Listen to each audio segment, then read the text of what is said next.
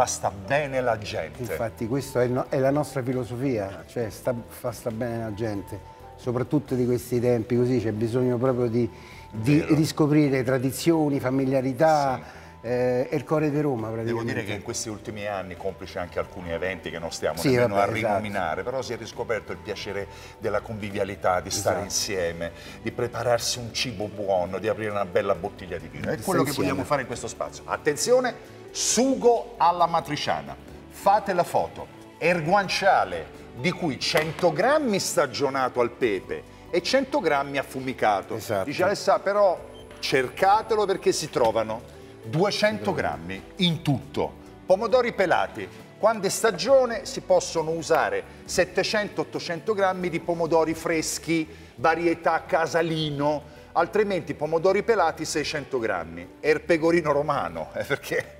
Eh, Solo cioè, pecorino E non è che dobbiamo mischiare con tutto il rispetto altri formaggi no, no, no, pecorino romano, no, classico. pecorino, pecorino romano 200 grammi. Vino bianco un quarto sì. di bicchiere bello secco, sale mix di pepi e poi il peperoncino. Maestro, ti seguo, eh facci sì. sognare. Allora, intanto mettiamo la pasta. Sì. Poi andiamo...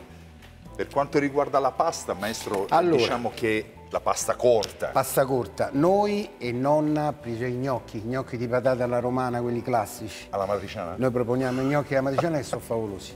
Però tonnarelli, rigatoni, spaghetti, bucatini. Ad Amatrice devo dire che il, formato di pasta è, il bucatino, il bucatino certo, certo. Eh, Però noi facciamo i gnocchi perché Però, nonna no, faceva certo, gli certo, certo. gnocchi. Mettiamo il guanciale. Allora noi andiamo a mettere adesso il guanciale a sudare e lo lasciamo piano. A sudare piano piano. Una sì. cosa importante.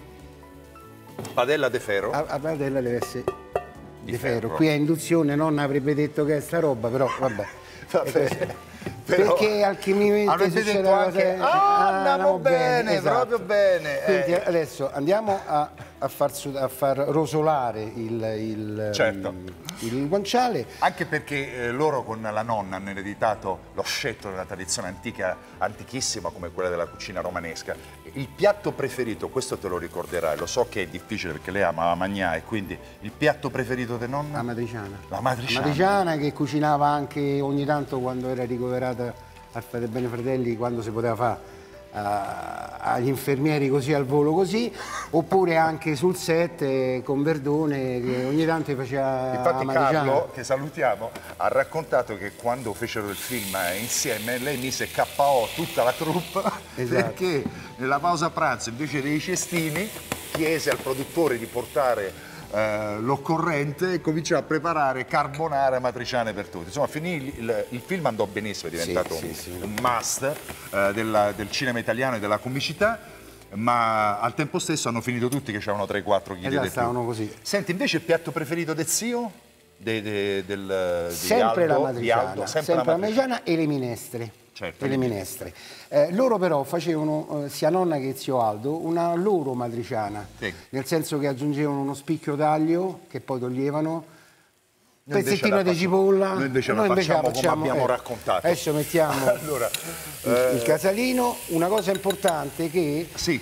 Eh, come diceva sempre anche mio padre e mio fratello Renato, la matriciana non deve essere con tanto sugo, deve essere ramata, perché diciamo che in un certo qual modo eh, nasce, è un'evoluzione de, della gricia certo. e quindi il pomodoro deve essere